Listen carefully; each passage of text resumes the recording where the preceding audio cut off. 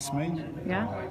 It's an amazing place. The city of Riyadh is uh, terrific, um, very vibrant, very open. Yeah.